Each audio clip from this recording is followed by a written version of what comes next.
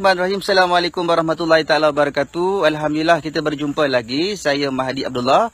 Hari ini saya akan share kepada anda satu lagi petua bagaimana untuk kita cuci darah kita dengan menggunakan tumbuhan ini.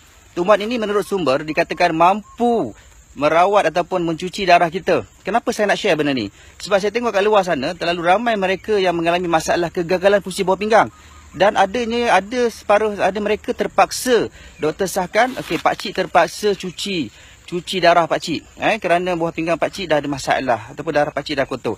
Jadi kat sini saya nak share kepada anda petu ataupun tumbuhan ini dikatakan juga mampu merawat ataupun cuci darah anda sekiranya anda amalkan uh, mengambil dan makan tumbuhan ini. Okey, inilah dia tumbuhan yang saya nak share kepada anda. Inilah dia tumbuhan yang dinamakan sebagai ulam raja. Okey, ni dia. Okey, mungkin anda tahu pokok ni. Okey, bagaimana cara dia? Kita boleh gunakan pucuk. Kita ambil pucuk dia ni. Kita ambil pucuk ulam raja ni, kita petik. Dan uh, sekiranya bersih, kita boleh uh, makan. Kalau tak, kita boleh cuci dulu lah. Okey, kita cuba makan. Bismillahirrahmanirrahim.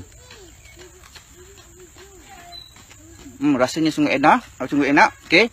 Dan uh, menurut sumber, orang-orang uh, lama atau orang tua dulu, sekiranya nak lebih berkesan, nak rawat darah cuci darah, kita boleh menggunakan, kita boleh ambil akar sekali. Ambil pokok ni, cabut.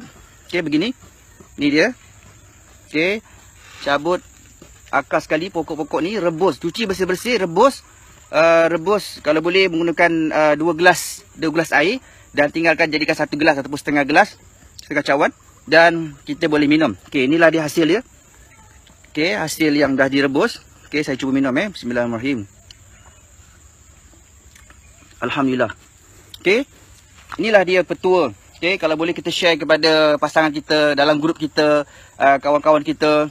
Okey, sekiranya anda rasa ilmu yang saya share ini memberi manfaat kepada anda, okey, sila share kepada rakan-rakan anda yang lain agar mereka juga dapat membantu insan di luar sana yang mengalami masalah kesihatan ni. Okey, sekian daripada saya Mahdi Assalamualaikum warahmatullahi taala wabarakatuh.